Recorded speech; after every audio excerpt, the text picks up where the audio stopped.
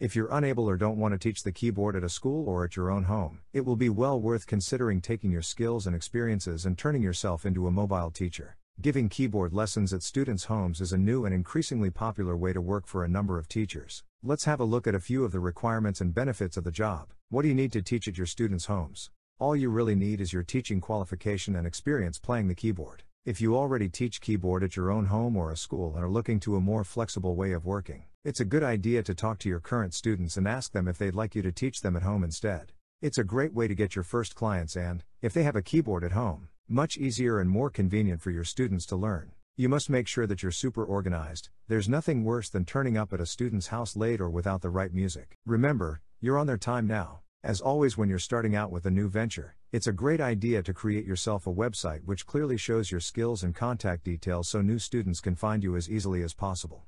You'll find that once you have a few long term students who like you and will recommend you as a teacher, you'll have lots of prospective students interested in you just by word of mouth. Make sure to do a good job and your popularity will rise. What are the benefits for teaching at students' homes? Number 1. Flexibility. This is probably the most sought after benefit for keyboard teachers looking to teach at students' homes when you do not have to host at your own home or at a school. You can be much more reactive to your students' needs and can really focus on them. Number 2. Possible increase in pay. You may find that students are more likely to pay for convenience, and what could be more convenient than their teacher coming to their home to teach them? Obviously, it's worth negotiating on this point when they first seek you out to give lessons. Remember that you have to travel to their house and back for the sake of their convenience, so you have a great case to ask for a little more money than you would if you were teaching at your own house. Number 3.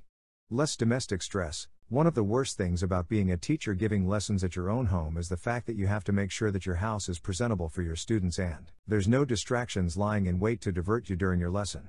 Lessons at the teacher's home are much more problematic if you live in a house share or you have young children running around. There is much less stress when you teach at your students' houses. In conclusion, there's lots of valuable benefits to reap from teaching keyboard lessons at your students' homes, and, as long as you're organized psychology videos, you can be a highly successful teacher doing it.